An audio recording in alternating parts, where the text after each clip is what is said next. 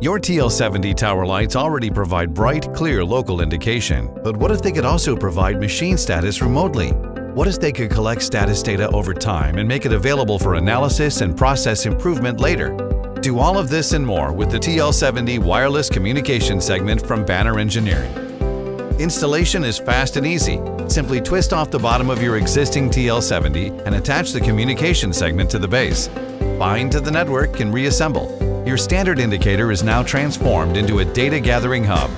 To improve the productivity of your operation, your tower light can now gather previously inaccessible data and when paired with the DXM100 controller, turn it into actionable intelligence. The communication segment can be used to monitor tower light status, enable remote monitoring and control, and facilitate data collection and more, all while providing the same bright local indication you've come to know and trust. Access machine status from anywhere collect production data over time, and gain the advantages of remote monitoring and IIoT solutions today. To learn more, visit bannerengineering.com.